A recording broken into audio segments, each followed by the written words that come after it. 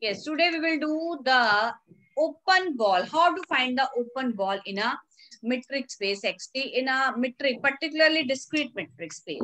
Open ball in discrete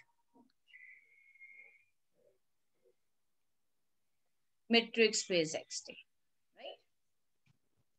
So first of all, you will define the metric. Let XT be a discrete metric space. The theorem will start from this. Let xt be a discrete, same, discrete metric space, right? And the d is given by, how the d is given by, dxy is equal to 0, 1, when x is equal to y and when x is, दो ही distances हैं. We have only two distances in the metric space.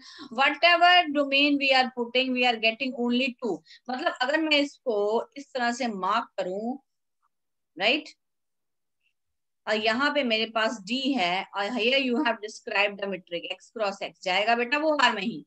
लेकिन whatever you are putting here you are every time you are getting only two images I the zero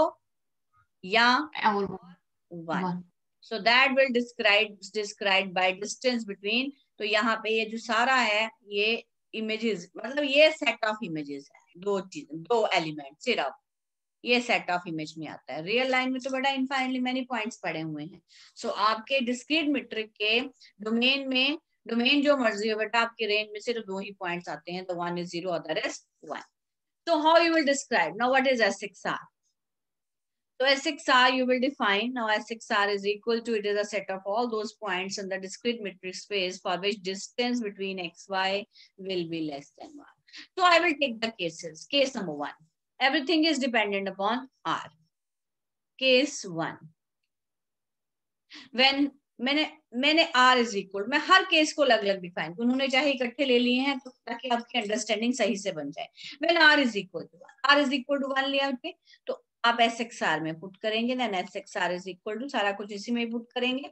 तो what you will get आपने are की जगह क्या लगा दिया? You got one मैंने सीधा आर की जगह वन लगा दिया right so distance between x y less than one हमारे पास देखिए distance between x y less than one मतलब एक ही डिस्टेंस है, उसका नाम क्या है? ये देखिए, आप, आपके पास एक ही डिस्टेंस है zero so how you will write it so this is equal to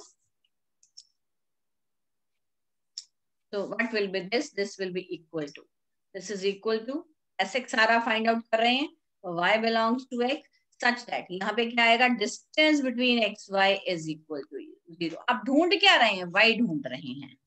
तो आपने वाई ढूंढ लिया डिस्टेंस ज़ीरो कब होगा यहाँ पे? जब x is equal to y होगा।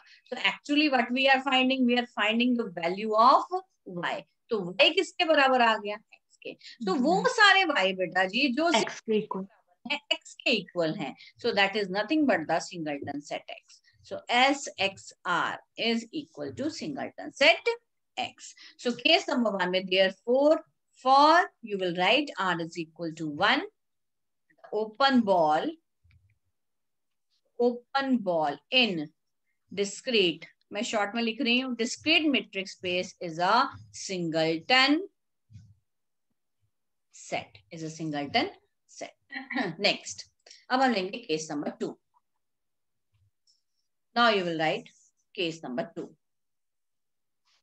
case two मैंने ले लिया। अब मैंने r is equal to one लिया था, अब मैं लूँगी r less than one right So what is SXR? Again, we will write SXR is equal to y belongs to x such that distance between x, y is less than r.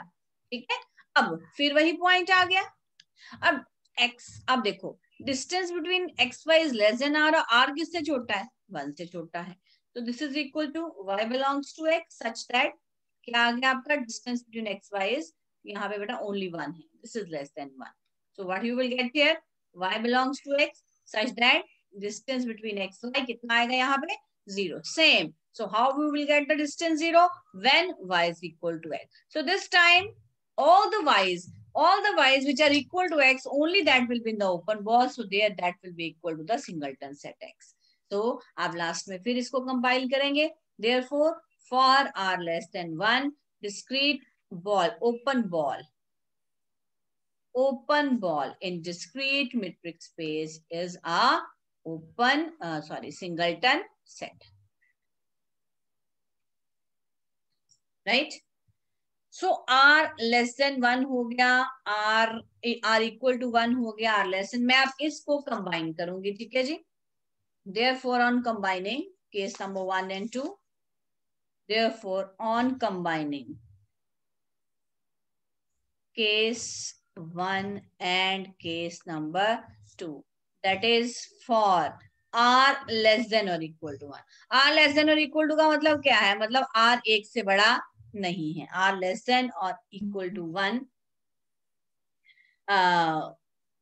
the open ball the open ball S x r is equal to the singleton set x right so this is the part number one next अब हम करेंगे अगला part अगला case लेंगे जब हम are को लेंगे ग्रेटर देन वन राइट तो नेक्स्ट केस लिखेंगे आप case number three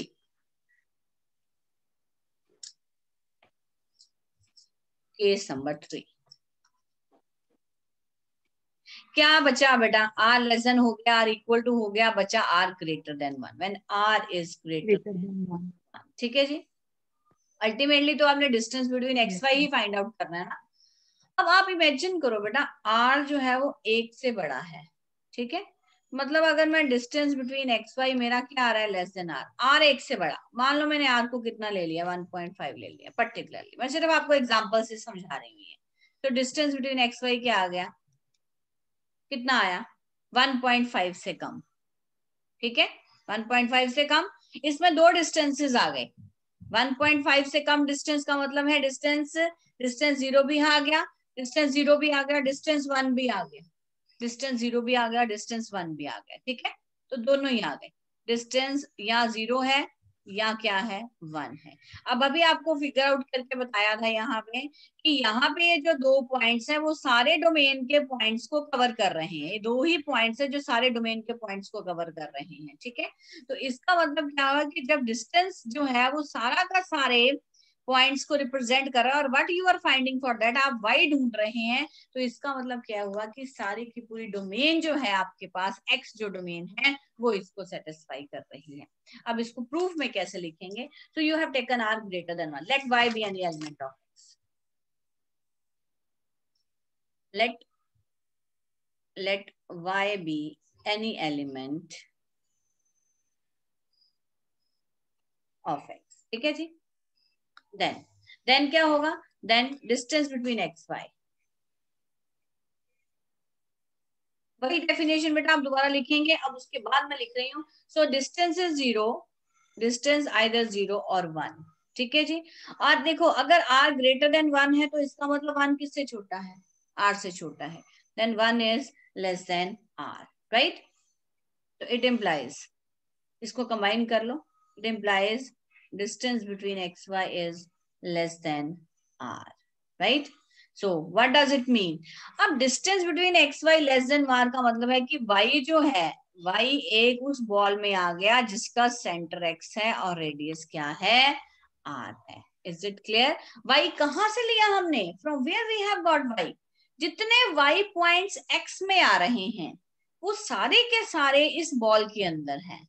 इसका मतलब जो पूरा एक्स है, वो किसके अंदर समा गया? वो इस ओपन बॉल के अंदर समा गया। लेकिन एक्स एक यूनिवर्सल सेट है एक्स मेट्रिक स्पेस है।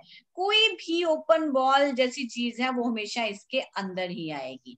तो जब बेटा दो सेट्स होते हैं, एक contained in B and B contained in A तो इसका मतलब होता है A is equal to B it means A is equal to B तो यहाँ से क्या आ जाएगा? दोनों को कंबाइन करके एक्स किसके बराबर आ गया? एस एक्स आर के।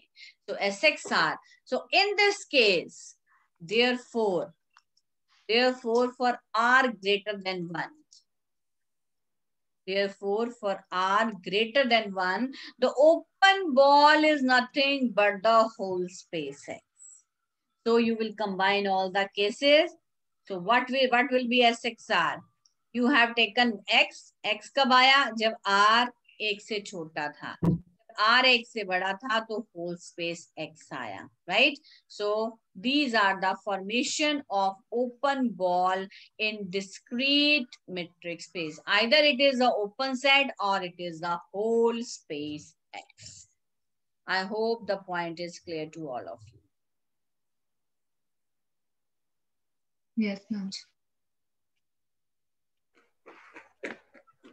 हाँ जी बेटा क्लियर हो गया? Yes ma'am yes ma'am yes ma'am